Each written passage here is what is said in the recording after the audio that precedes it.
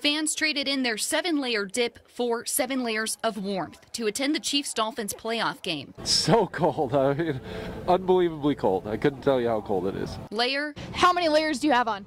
I have five layers on. upon layer, I have a base layer, two pairs of sweatpants, a pair of pants, and then s- snow bibs. Uh, I got about six on the top, three or four on the bottom, and about three pairs of socks.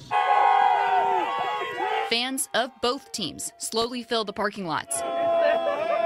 The turnout not as immediate as games past, but even at one of the coldest NFL games on record, fans were fired up to be there. No, not cold at all. We're here. We're having fun at the tailgate. Chiefs fans are super welcoming. We're just here to have a great day. While KC hoped to freeze the fish, visiting fans did their best to be prepared. At any point in your travels here, did you think about turning around when you realized it's going to be less than 10 degrees? Five minutes ago. Yeah. As both teams fought to continue in the postseason, the fans fought to stay warm. Reporting at GHA Field at Arrowhead Stadium, Claire Bradshaw, KSHB 41 News.